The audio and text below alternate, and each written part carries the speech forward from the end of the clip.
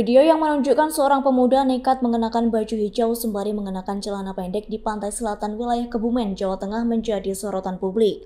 Adapun aksi tersebut turut diposting akun TikTok @nasar.tok123 pada Jumat 28 April 2023. Seperti yang terlihat dalam video, pemuda itu tak khawatir memakai baju hijau. Bahkan, pemilik akun itu tampak bangga mengenakan baju hijau dan sengaja menceburkan diri ke pantai. Terkini nasib pria tersebut masih menjalani aktivitas seperti biasanya. Akun @nasr.123 menyatakan lantaran dirinya jago berenang dan terlatih sejak tiga tahun yang lalu, turut menjadi penyelamatnya saat berada di pantai. Terkait dengan baju hijau yang dikenakannya, kala itu pemilik akun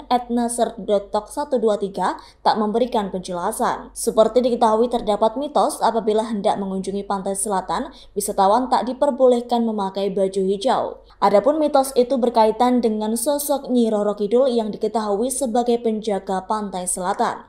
Terlepas dari mitos, menurut tim rescue, ada alasan tersendiri dilarang mengenakan baju hijau saat di pantai selatan. Menurut Koordinator Satlinmas Rescue Istimewa Wilayah Operasi 3 Pantai Parangtritis Bantul, 3 Parangtritis M. Arif Nugraha, warna hijau dan biru berisiko mempersulit penyelamatan apabila terjadi kecelakaan laut.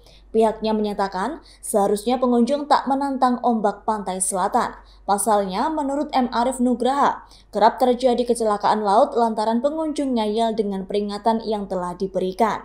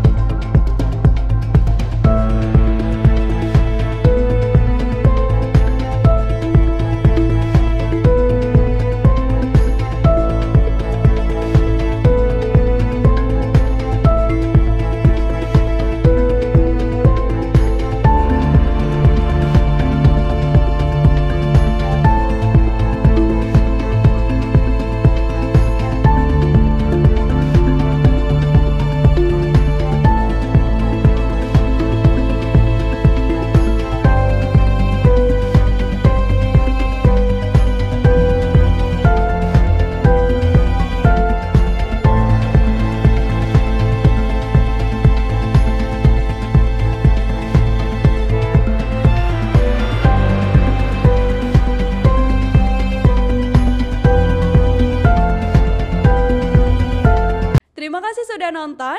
Jangan lupa like, subscribe, dan share ya.